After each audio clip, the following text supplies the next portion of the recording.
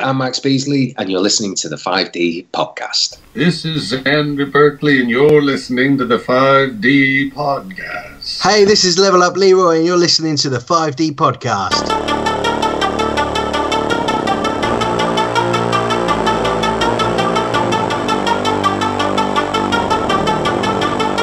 Get yourself ready for an interdimensional sensory experience. Welcome all to the dimension of sci-fi, fantasy, and horror.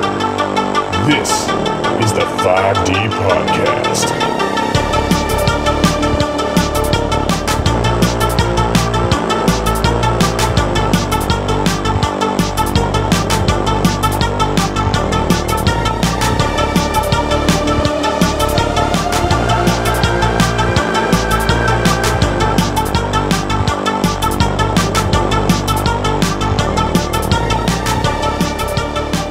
Hello there, and welcome to the 5D podcast brought to you by Stuart and Zach from 5d-blog.com. Welcome to those of you listening live on Twitch. Also, welcome to those of you listening on iTunes, Spotify, TuneIn, and Stitcher. Be sure to check out the 5d-blog.com website for blog articles, competitions, and news. And of course, check out the 5D YouTube channel, the details for which can be found on the 5D website really appreciate you taking the time to talk So I know I kind of pestered you a wee bit, so I'm really glad you kind of listened to my stalking. Oh, yeah. You no, know, I, I got totally with my instincts about which people to do this. I can just tell you were cool. Yeah, well, thank you. Thank, um, my usual co-host can't do because he is is a uh, he's not a, an Apple guy. He doesn't do the Macs or anything. He's on a PC, so he can't do this FaceTime. But he's listening in to Oh, okay. our, our call. So so if you could say hi to Zach, I know you would appreciate you would really appreciate it. Hello, Zach. How are you? oh, he says you're fine. It says it's fine. It's cool. Um, so, um, there's a couple of things obviously I want to talk to you about. I mean, I know that the Walking Dead thing is going to come up. Um, I'll, I'll need to talk to you about that. Um, but can I just ask about how you got started off then? Because obviously, I think, am I right in saying that you had quite, I mean, you talked about your mum um, being quite creative and inspiring. Were they kind of like what inspired you to get into acting at a young, kind of a young age? Well, you know, I, I do, my mother had higher aspirations.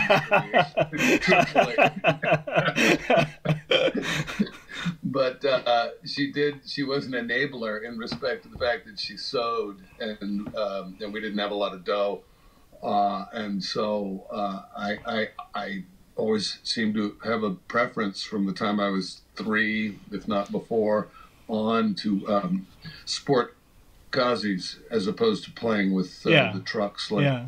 normal masculine boys. I guess would.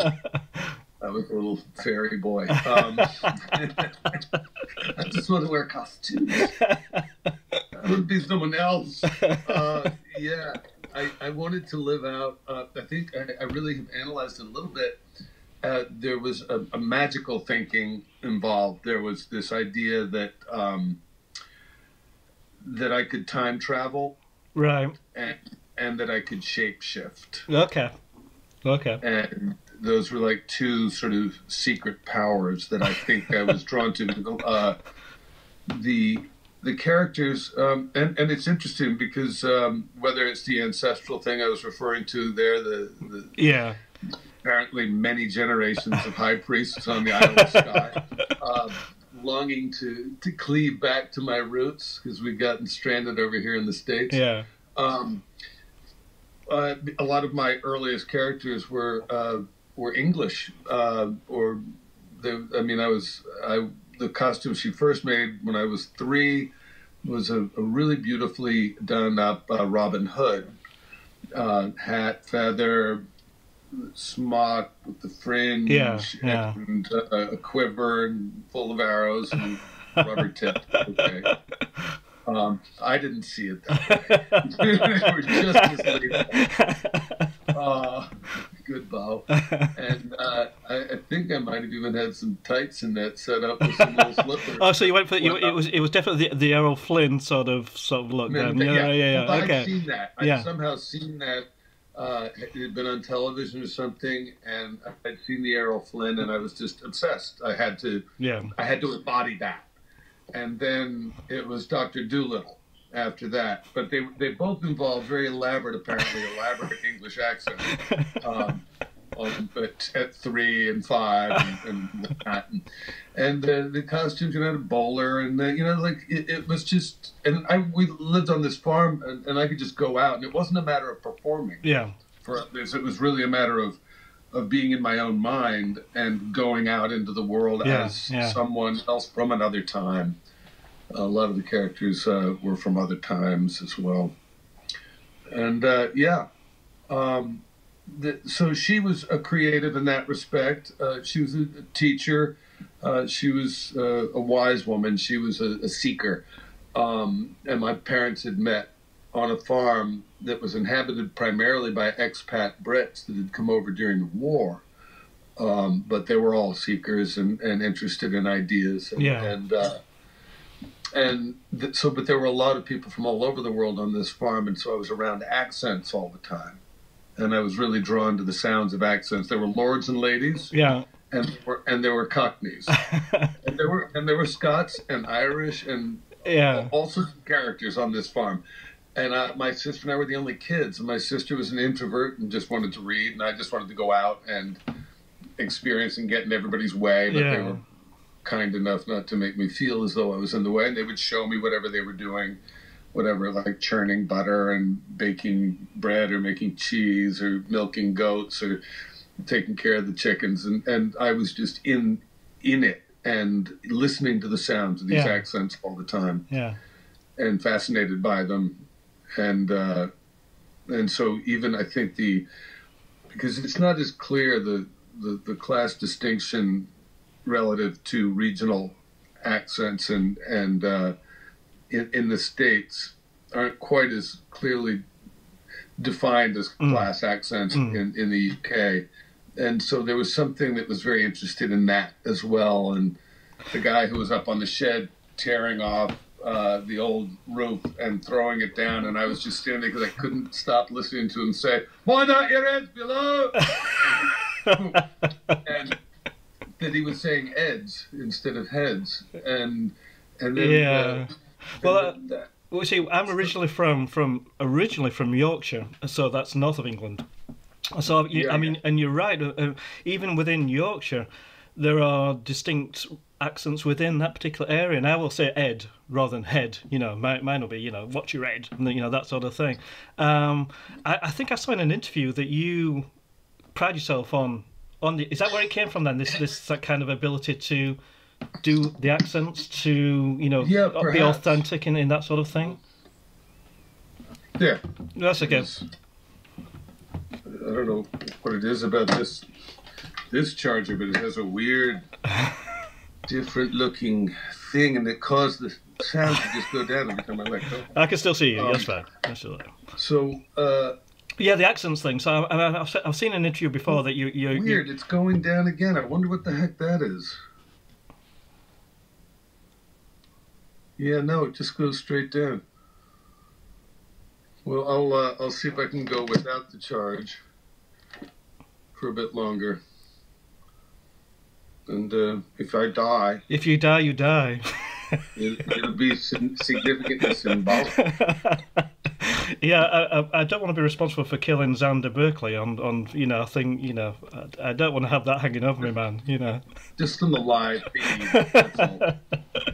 Um, Um, so anyway, yeah. So uh, listen, I mean, the thing about your career, which I, I, I don't know, I for me, I think if I was never an actor, which I, I can't act to save my life, but if I was an actor, I'd love to be. I think in your situation where you've got this huge body of work, but you don't. You may disagree with me, but you don't seem to have been kind of pigeonholed. You don't seem to have been typecast. Um, you've done a whole wide range of things. Is is would you agree that that's from your own point of well, view? I got typecast a little bit. I, I, uh, you know, just to harp on my mother for because her maiden name was Harper, um, and to make a bad pun. Um, I tried to ignore that. I was I was gonna let that I was gonna let the pun go. It's okay.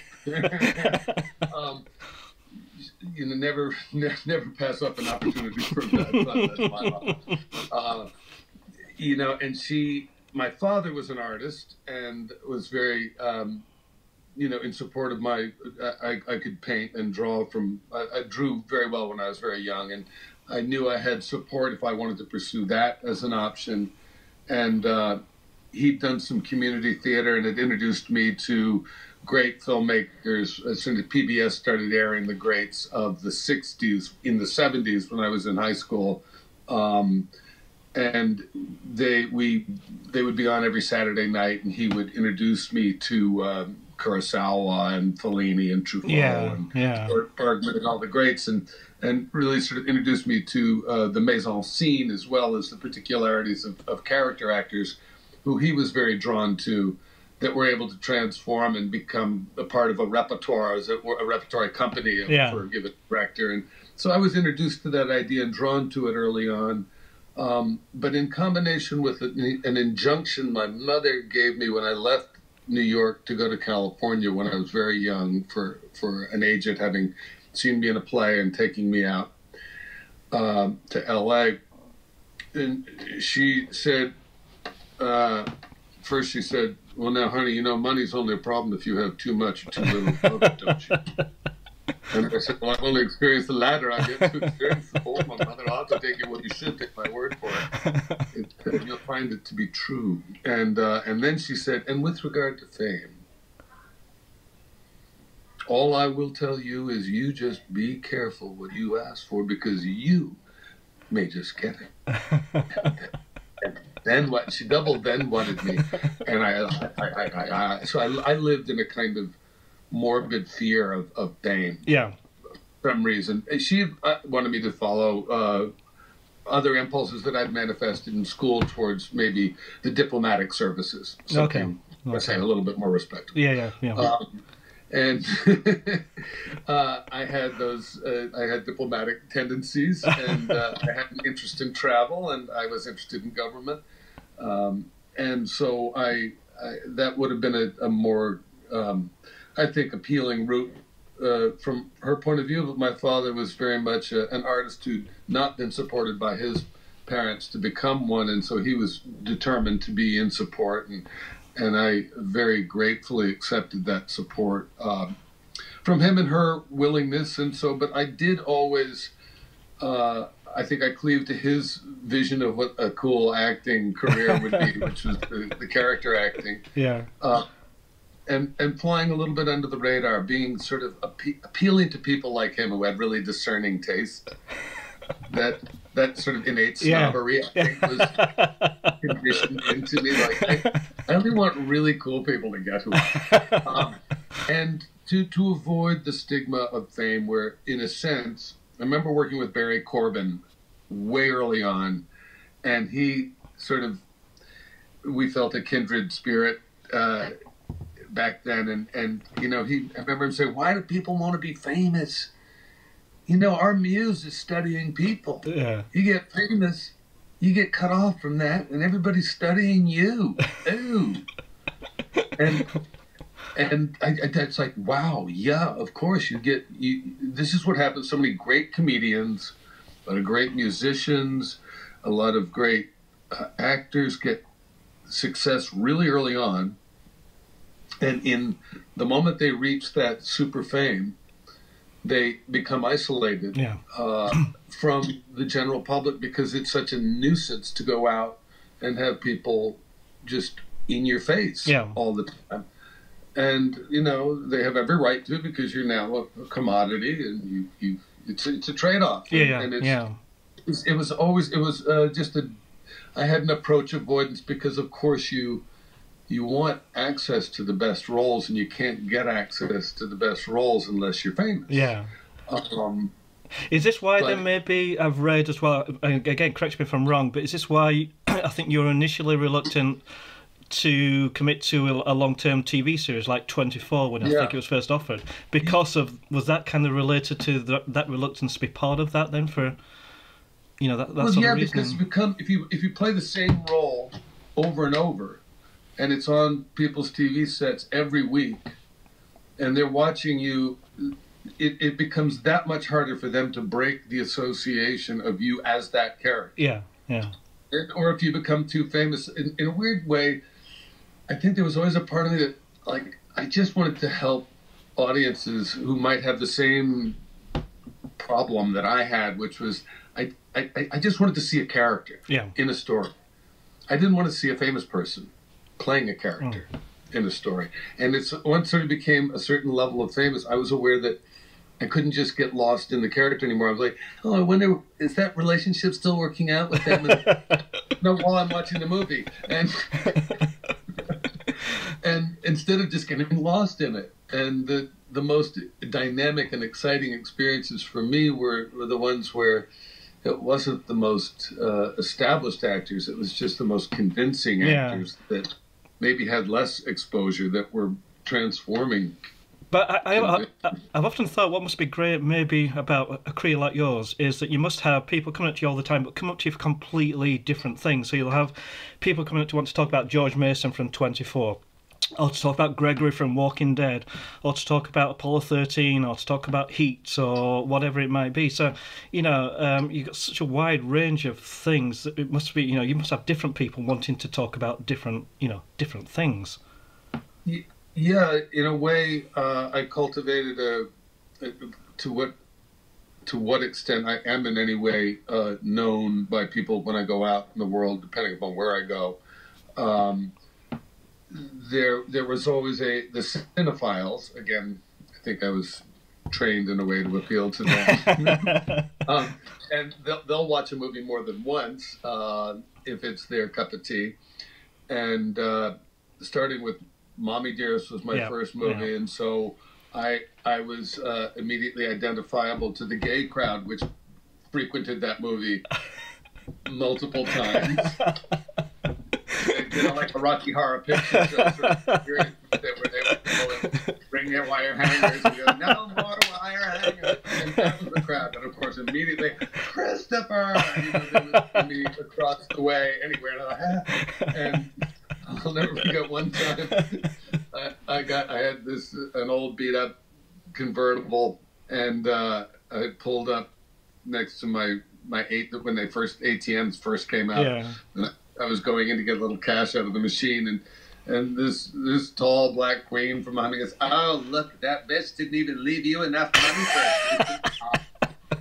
and you know that that there was always like a crowd uh, who would identify, and then shortly after that, Sid and Nancy suddenly, by playing the drug dealer and Yeah, Sid yeah, Nancy, yeah.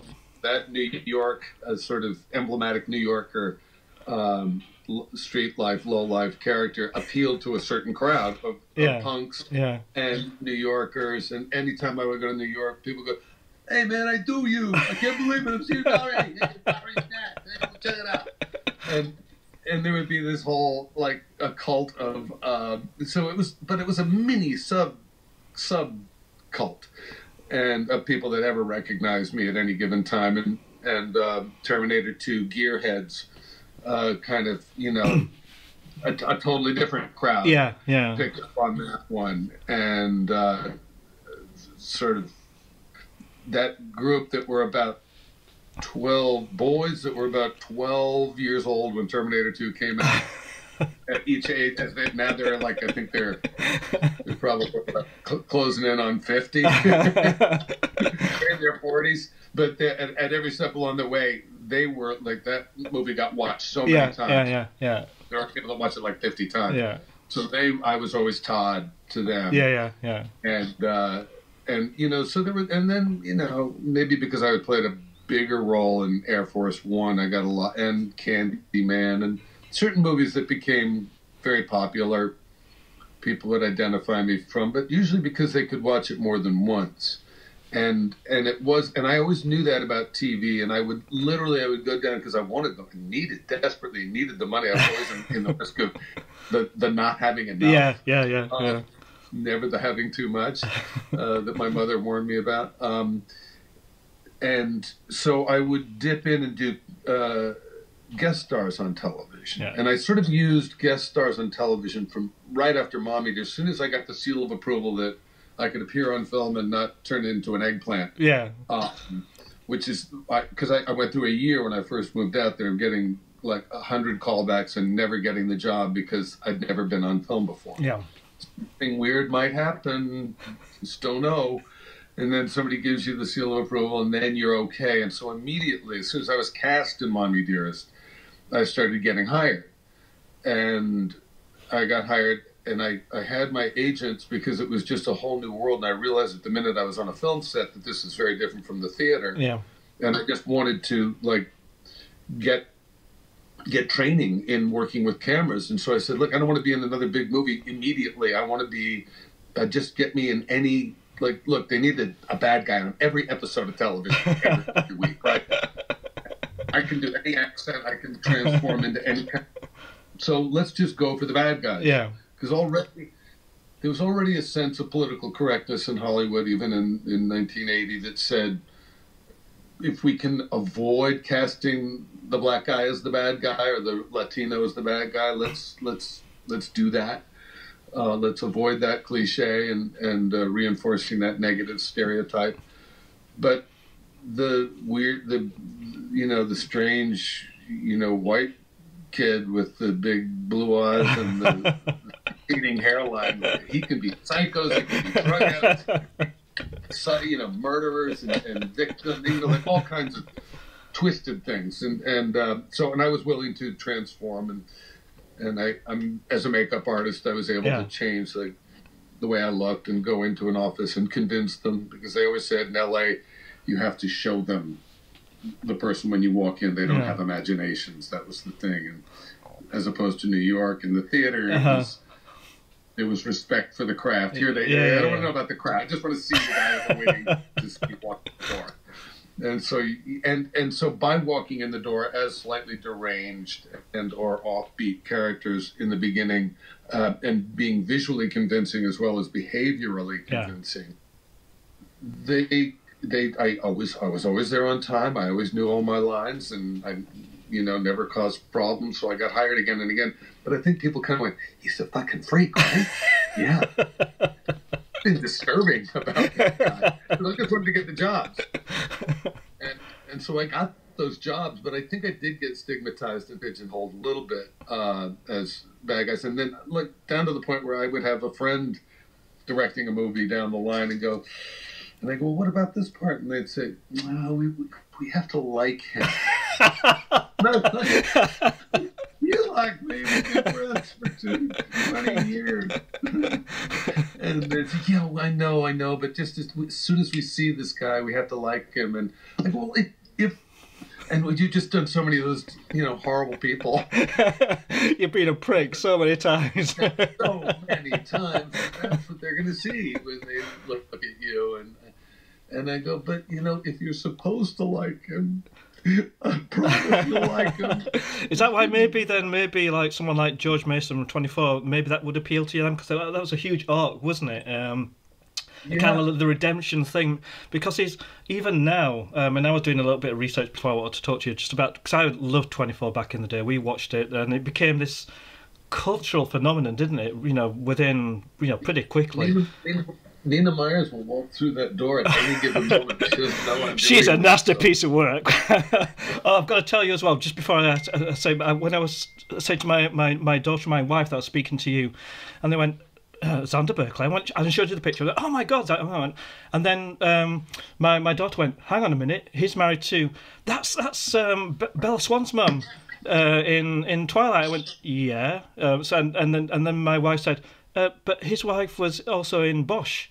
I went, yeah. So they were they were unfortunately more interested in Yeah. yeah, Well, yeah. maybe- Sorry about that, man, maybe- but you know that's how it. I don't blame them.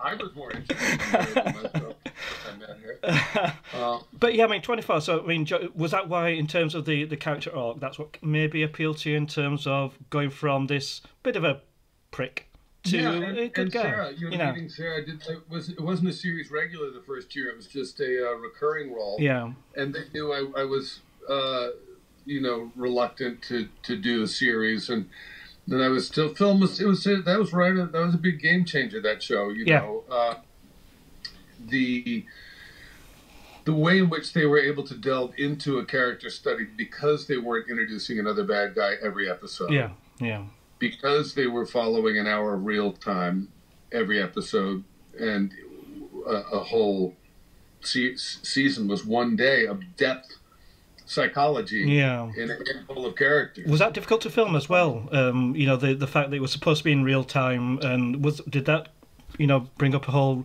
different types of problems for you as an actor as well? The fact that it's supposed to be in real time and the continuity and that sort of thing.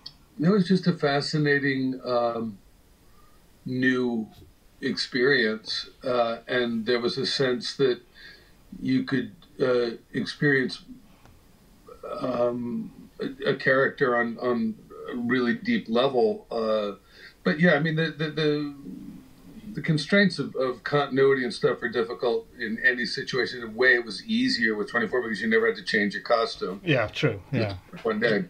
Uh, so there, at least there wasn't that. To, oh my God, I'm not supposed to be wearing. And like I say, Uh, like I say, it was an interesting experience because not only was it this cultural phenomenon that you took place in, but you managed to snag a wife as well, which you know, you know, it's pretty good going, really. I suppose you know. yeah, and I, I thought I was going to have to go back to New York to find a wife at that point. I was feeling that. and then New York came to me. And, oh, done. Um, but the uh, Do you still get people? Do you still get people asking you about George and Twenty Four? Is it still because I mean it's yeah, like that left a real uh, impression on people, and I think because Joel and and uh, Howard was helping to run the show at that point, but uh, Bob Cochran uh, and Joel were the head writers the first year, and and they they turned over a lot of stuff, and they, they liked I the uh, the kind of sarcasm, the the, the irony, and uh, sort of gravitas and uh, cryptic humor of George Mason was was something that I brought to Yeah. the pilot that wasn't in the script particularly, and they immediately picked up on that and wanted to write him into the show, uh, and not just have it be a guest star thing.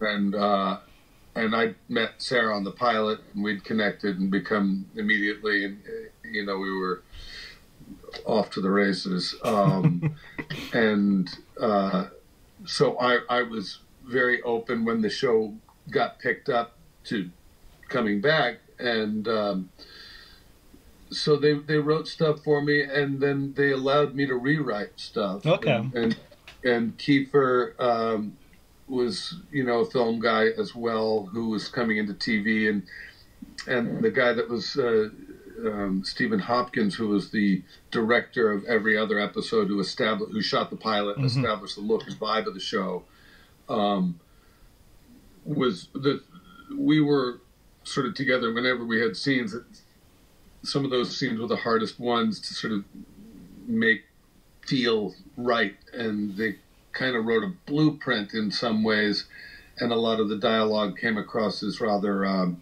stiff and we go at this isn't working we you know you have your rehearsal yeah, before the camera crew is brought in and you go "Mm, okay what's this what are we trying to say in this scene and, and how do we say it um, in a way that sounds convincing um, and we would just break it down and improvise a little bit and, and rework massage it yeah, into yeah. place.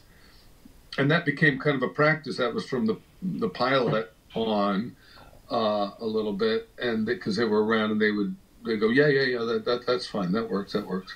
And then they, they just sort of became a practice of of uh, we were given a certain degree of trust, and and uh, Sarah and I would work on stuff together because we were together, even though they didn't know it yet on episodes that we were involved in, and and, um, and then uh, there was just a a general sense that the show was, you know, just going into. I didn't think it was going to get picked up originally because back then in syndication you had to watch things, be able to watch a show out Yeah. of order yeah. and this is a show you could never watch out of order. So I thought it was tenuous at best at getting picked up, but Uh-huh. it did, and it just became the zeitgeist phenomenon. yeah. It, it, 9/11 had just happened. It connected so closely to the events of 9/11 that that and the modern technology, the way Yeah. they divided the, the, the storyline, was just very. Uh, it became the first show to be binge watched, and so that was clear right from the first season. Um, and they enticed me in to become a regular by saying, "What if you inhale airborne plutonium in the first or second episode, and you only have 24 hours to live? yeah. Will I be dead by the end of the season?" I said, "That sounds amazing," because it also sounded like a I wasn't just going to be used as this device to come in and tell Kiefer, no, you can't do that. well, maybe, but this is the last time. And, and so I uh, I was able to take things in a different direction. There's yelling at dog going on. I'm going to be right back.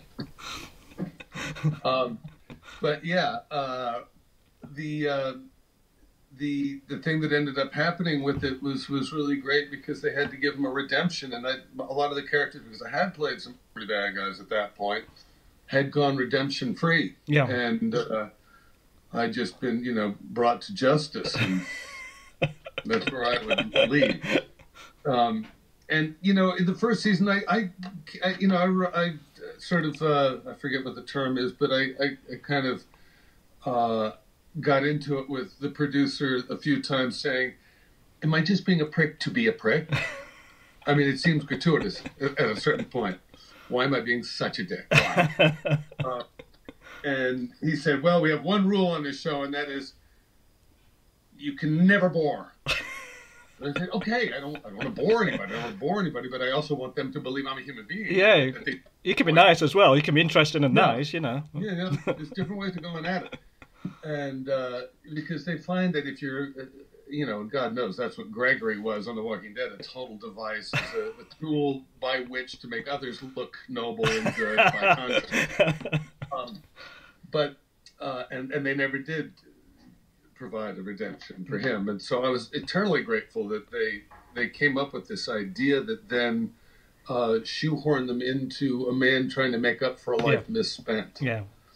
and uh, and how interesting that became when you got to see a guy who you didn't think had it in him suddenly have to come to terms with the fact that he's dying and, and he's got to try and make use of the little bit of time he has left to try and make up for what he'd done wrong and and that was like a, an incredible thing to get to play on film and and It was a real powerful way to finish as well, because I mean, I can remember at the time, you know, I watched it with my wife, and we are kind of like, you know, we were in tears watching it because it was just like it was, it was just a really cool moment. You know, you got somebody who was, you know, was a bit of a prick, a bit of a dick, but had had this really powerful, like you say, redemption. Oh, and by the, and by the end of it, he was almost the hero. You know, it was, it was so cool. Yeah. You know, it was really cool.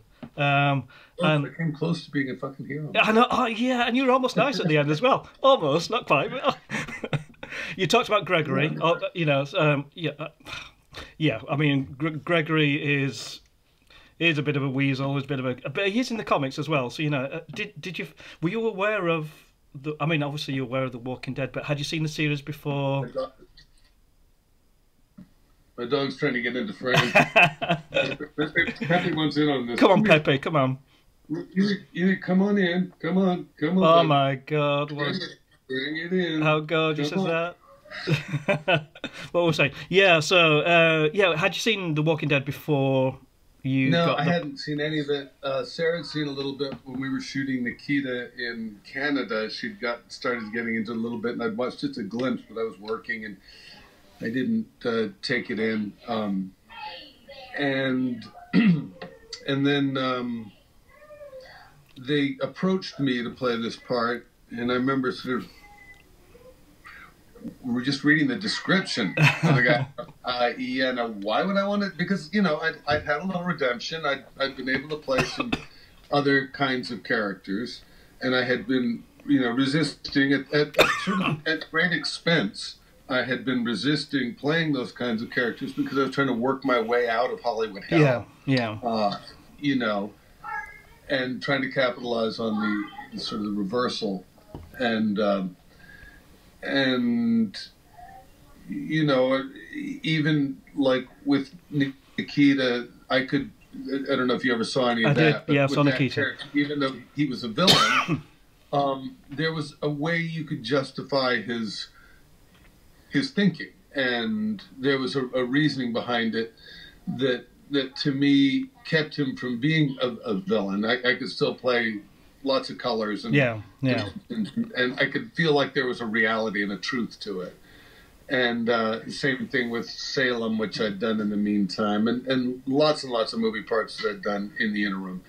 Um, but to come in and do a series that's as popular as that, playing a, a shit heel like that, you know, it's like considering I got these two kids, I want them to someday see, you know, flip on the the uh, the TV and see me being something other than that, and um, and they gave me all the talk about how popular the show is and what it does for people. It's oh, this is gonna make my career. Is that what it's gonna do? I don't know. I, don't know. I think it could put a stake in the heart of it. Uh, I played this guy convincingly, and uh, but the, the Scott Gimple got me on the phone, and and his pitch was that he used to be in comedy, he used to write comedy. Yeah. He's always seen my sense of humor in the stuff that I've done, and felt like uh, I needed an opportunity to do more comedy. And that they wanted and needed to have a, somebody who could crack the window open and let a fresh breeze blow in from another direction to lift some of the turgidness Yeah. of what was happening as the Southern drama uh, that it was becoming. Yeah. And I'm oh, okay, all right. Well, so I can serve a good purpose for the show. I can get my kicks by being funny, but still keeping it real. Um, but yeah, if you write me funny stuff, that that that sounds like it might be fun. Um, I don't mind sacrificing my vanity and being unctuous and being uh, despicable and yeah, playing the coward. Playing the coward. I played a lot of bad guys. I'd never played the coward before, and I know that there's a certain, uh, you know, you're warned against it because it's a weak way to be presented, and uh, and especially in the context of a show like that, it's almost like you could obviously you could be Negan and, and bash in Yeah, yeah. beloved characters' brains to the mud and still be cool and still be uh, worshipped by fans. But if you uh, run from an, an encounter and, and you rat somebody else out or you you know you fail at hitting on someone or you know any of these mm. despicable qualities that you are not forgiven Yeah. and and I, I kind of had enough sense just from the map the blueprint because they didn't want to show me any actual script Yeah. lest say no and I tell somebody about a line I don't know what the but you know they were just giving me all the hints and all the hints indicated that this guy was going to be unctuous and I remember at the end of the first season going okay well I think I played about every color in the unctuous rainbow for you got any hope of a redemption and Scott said Mm-mm. well, now, the thing that's important to understand about Gregory, R.E., the unctuousness, is that, uh, it's really more of a feature than a bug. And it was the first time I'd heard that. Right, right, right. It's pithyism. And more of a feature than. Okay, so the so he's. Isn't that kind of not really human in a way to not have any crack in the armor that lets a little light in at any point? Yeah. So that's a done deal. Like nothing is going to change in this in this guy. And he said, "Well, that's how he functions in the comic book, and that's pretty much how we need him to function." So I'm, yeah, I'm just the antagonist. I, I get it. I get it. I'm there to make others look, Look good. good. was it? Was it? Again, get uh, which is fine though. You know, which is it's still cool. Yeah. Di- was it difficult to fit in? Because I mean, what was it? Season six, I think you got. So was it? Andy Lincoln is such a prince. He's the guy that you know. He was the number one on the call sheet. Never, in all my years, have I seen a more gracious and uh, welcoming host. That's nice to hear. worth- That's nice to hear. Just an exquisite human being. Um, so no, he.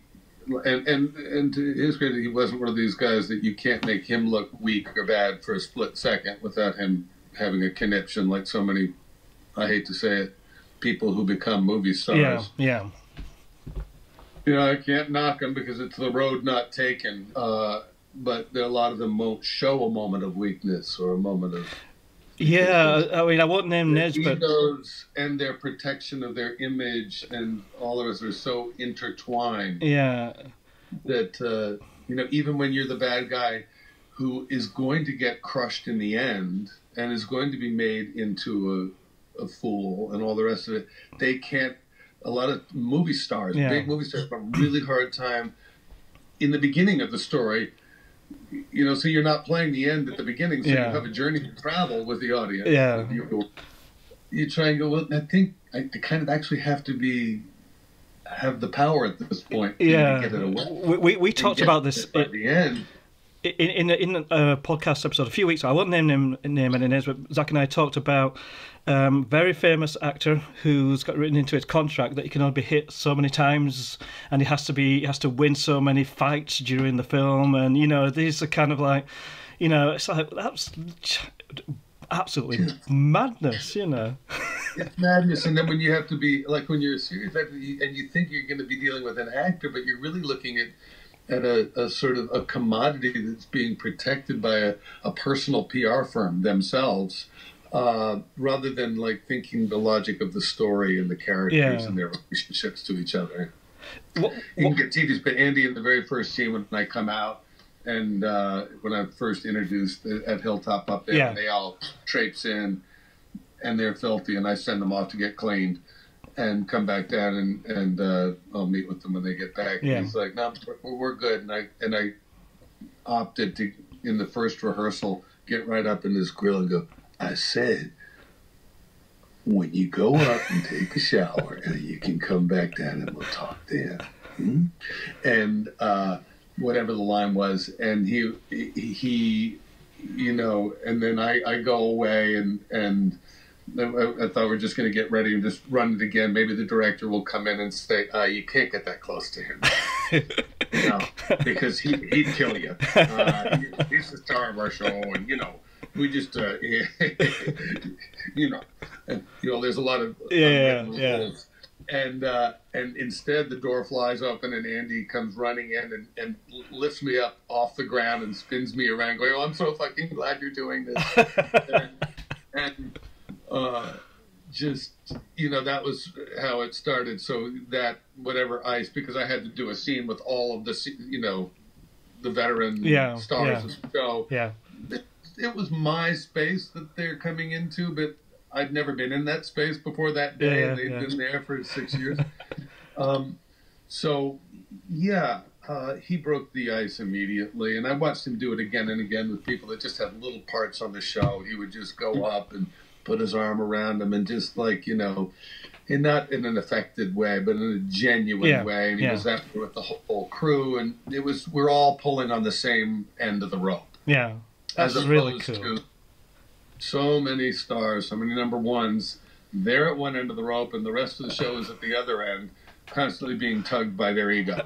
and he and, and he wasn't that ever for a second. He was so dedicated and set such a high standard of working in the blistering heat and throwing himself physically into it, even when it was off camera. You know, Yeah, yeah. I think everybody uh, picked up the vibe from the start and uh, said if he's going to behave that way, there's no room for the prima donna bullshit that so many other shows get into. And, and it was just a great atmosphere on set because of that. That was real. that's really cool to hear. I mean, I've, I've heard, I mean, I've talked to a couple of people from that been involved, and they said similar sort of thing. That was a, you know, it was a kind of happy set. You know, the the heat is always, always comes, you know, the work, the heat of working in that part of the country and everything always comes across as being really difficult. Um, what have you done the cons? Have you done like the Walker Stalker and all that stuff? Then how did? I did a little bit. I, I didn't like the vibe of those people. I'm pretty intuitive about people, and there was something really, yeah, Yeah, and and it all turned out to be true. Uh, you know, there's a lot of money to be made for people, I guess. Uh, not for me because um, because uh, Gregory nobody wanted his autograph. I mean, there were Oh. fans of mine that would come trickling through every now and again, people that knew me from other things, but basically nobody wants the the, the douche waffles photograph. I would have the douche waffles photograph. I would have the douche waffle photograph. Yeah, yeah, yeah, you because you're a cinephile. Uh, but you know, you have uh, discerning tastes, and you see the subtlety and nuance that goes into building a character. A lot of the people that go to those shows just wanted, uh, you know, the obvious autographs. Yeah. and uh, you know, doing something weird and quirky on the show, and you know, whatever, just being like a you know, like an also ran like smaller character with a with a gag would have gotten me better responses at those things than being Gregory because people just come up and go, "Why are you so mean to Maggie?" Because uh, that's that's in the script, man. It's the words I was given. You know. This show did not allow any rewrite. It's not a doc, it's not a documentary. It's it's, it's a piece of fiction. Yeah. What what's a piece of work if you had to choose, if you could choose one particular role, any role? What's the thing that you're most proud of as a as an artist, as a as an actor? Is there one Well, role that you, know, I think? think this movie. Uh, sort of, well, there's two two things. Um, the booth at the end was a really cool little uh, web series that I did. That uh, I think the second season is still playing on Amazon Prime now. Uh, it, the first came and went. It, we did it for virtually nothing, and we shot it in ten days the first season, and the same with the second. Shooting five days, two days off, another five days on. Um, it was like an experiment in the early days of web series, like about ten years ago.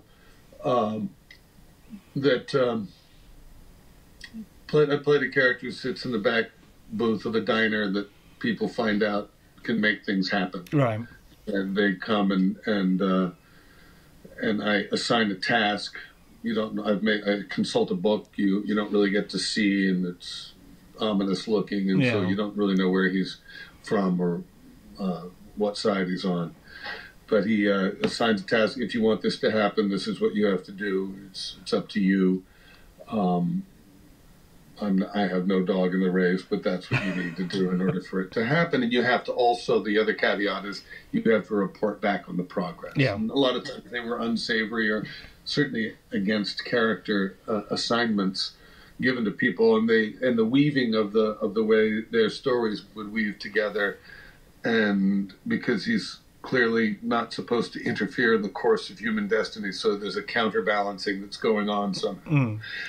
but he's taking a basically a, a sort of um, a compass on human morality in the first season, and then trying to understand what their whole preoccupation with love, the concept of Right, love, is in the second season. But there, it was just really interestingly well written, and uh, I got to collaborate on the writing as well, and. Uh, it was uh, written a bit so that it was a, it had such a great concept, but a lot of the voices in in each of the characters had a similar sound, and Yeah. so I got to write the differentiation between characters into it a little bit and the polish or two, and and uh, and it all held together really well, and, and then we did a second season, and um, that you got a bunch of awards for the Streamys, and I got a bunch of acknowledgement for it for those that saw it, but not that many people saw it. Um, but it remained a favorite, and uh, the the maestro recently, a few years ago, shot a movie about a guy who was uh, a composer exiled from Mussolini's Italy, Oh yeah. Um, yeah.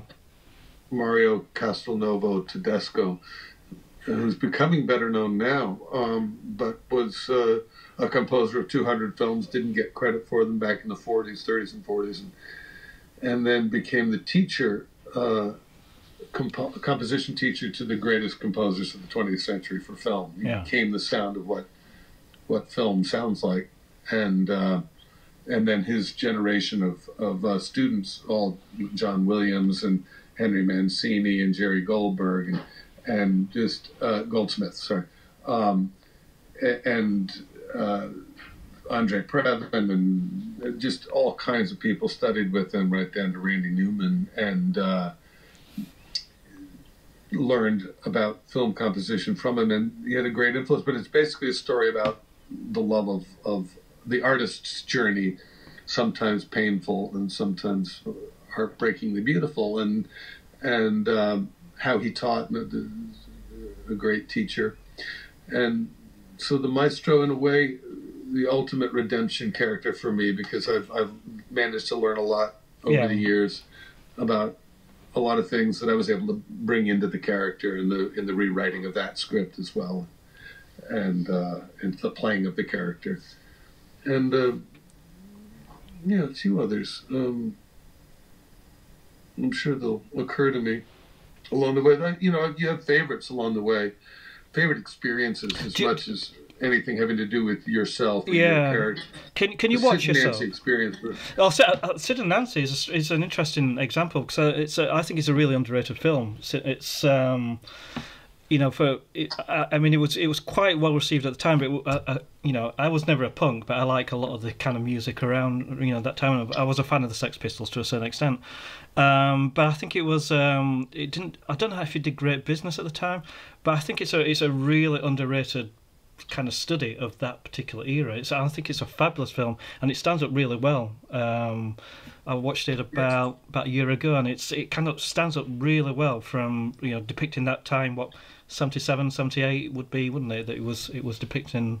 It was then. Yeah, we shot it in '85, but it was a depiction of the late '70s Yeah. in New York, and not just New York, but London and New York, and and uh, it it was um, a scene of people that came together to make that movie. It was Alex Cox, Yeah, obviously yeah. the director, coming off of Repo Man and the success of that. Um, but he, he got Roger Deakins to be his cinematographer, and he got Gary to be his star. And Gary hadn't done a film before, and Yeah. Roger had only done a few, and and um, and there was just something in the air in the telling of that story. For whatever reason, it was just. Uh, and I, I went on and did two more films right after that with Alex, just because there was something so dynamic. All the musicians who were involved in creating the score were were more layered than just the obvious punk rockers.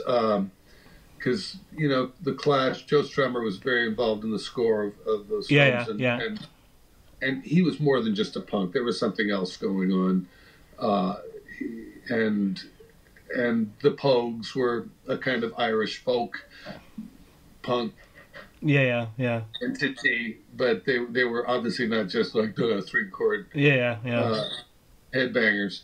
They were headbanging, but they were they were banging their heads up against big ideas Yeah, and, yeah. and poetry and stuff like that as well. And and uh, and Elvis Costello had been involved in the music as well. Came in and, and played a part in, in Straight to Hell, and we were all in Spain, in Almería Spain, and and the continuing of these relationships. A lot of the people that have been involved with Sid and Nancy coming together with the music people and and then off to Nicaragua when the war was going Yeah, on. This, yeah. We were there for three months, and that was a very bonding experience. And so there, there's a kind of, um, you know, and Gary and I established a friendship shooting Sid and Nancy that's lasted a lifetime, and and uh, and uh, you know, it was really great to see not this year but the year before to see Gary and Roger both get their first Academy Awards. that was really kind of just how that took so long for that to happen. I don't, I, I don't no know. kidding. But you know, sometimes great things take a while for people to get. You know, and Siskel and Ebert did have Sid Nancy in their top ten of the '80s at the end of the decade. Um, so there were people, critics got it, but I think a lot of times I've always been drawn to like Mike Figgis. I did four movies with him, another great British director, and and uh, who shot films in America, and and um, you know, there, a lot of times the pioneers discover territories that become inhabited by a larger population after a certain period of Mm. time. And uh, I've, I've always been drawn to the pioneers uh, in in filmmaking, as well as those that are you know established, like Spielberg and Yeah, uh, Wolfgang Petersen and Clint Eastwood and Jim Cameron. These are the giants of of uh, of popular film, and I've always been fascinated by that as well. Because I always love going to the movies. I love going to art films, and I love going to big box, box office yeah, things. Um, but I, I, I do I do love film, and, and so I was always drawn to keep learning about it because I want to start uh, when I grow up. Uh, I, I want to become a director someday. I wanted to keep learning. I say the same thing. When I grow up, I want to do this. I want to, I want to be a, you know, do a proper thing. When I grow, when I get older, you know. What's the future hold then for Xander Berkeley? Then what's what's the? I mean, obviously we've got the, this thing going on at the moment. What what's in the pipeline? Once Well, every, once got- the world returns to normal. Three properties in Maine. We live here by the by the sea. We're on uh, on the bay here in in, in uh, Maine. Um, but uh, was that the other one? the other one. Um, and uh, but we got a farm about an hour west of here, and uh, and then a mansion, um, an old rundown mansion from the uh, late 18th century nearby that work together. You can put people up or film in either of those Yeah. places, and uh, so looking to uh, attract. Uh, friends from my lifetime of working in the film industry to uh, this beautiful part of the world and uh, work on interesting experimental and um, you know independent films here and make it possible that the uh, the mansion itself is a great location for an anthology series so i'm in talks with people about developing nice. that and just creating material content for you know that's just powerfully interesting writing uh, for great actors and uh, getting great cinematographer friends to That sounds so it- cool. That sounds so cool. great musician friends to help create a score for it as we're building it and so that's really what I'm working on. Nice. Listen, Xander, thank you, man, for, for letting me take your time on on this afternoon. Um, it's been a blast. I am genuinely a fan, and I've loved I've loved a, you know a lot of the work that you've done, um, and just real thank you for the time that you've given me. It's been it's been a blast. It's been a real honour, and um, I could Yeah. talk I could talk proper film with you all day. You know, if you ever get the chance again, let's just talk old movies because I Yeah. could. Uh, well, I could we're, talk- we're all constrained. You know, we're in our home, so uh, well, it's a lovely pleasure to have met you. I look forward to talking further down the line. Could you do me just? Exactly.